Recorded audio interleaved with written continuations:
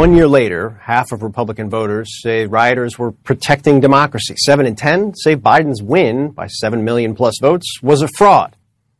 Joining me now with their reporting and their insight, Catherine Lucey of the Wall Street Journal, Jonathan Martin of the New York Times, the Washington Post, Paul Kane, and CNN's Eva McKend. And Catherine, I, I want to start with you because you know it was just last month that President Biden said, "I don't think about the former president."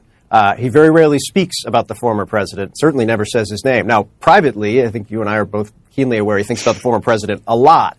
But this shift in messaging, this shift in going straight at the former president, what was the rationale behind it? You're so right, Phil. This was a real turning point in the way he talked about the president publicly. He really has spent the past year trying to move away from talking about him, you know, trying to focus on unity when he could, saying he wanted to work with Republicans.